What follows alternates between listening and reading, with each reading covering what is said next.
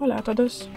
En este vídeo vamos a ver cómo editar el nombre del dispositivo en HonorPad X9. Vale, entramos en los ajustes, bajamos y entramos en la última pestaña de la lista que es información de la tableta. Aquí tenemos nombre del dispositivo, pues pulsamos aquí y ahora podemos cambiarlo eh, como queramos.